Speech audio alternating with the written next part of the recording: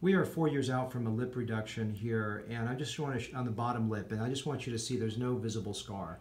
It's healed extremely well, you can't tell. The reason I'm having her move her mouth is that I want you to see in close up, high definition, 2x magnification, that the scar is really healed extremely well.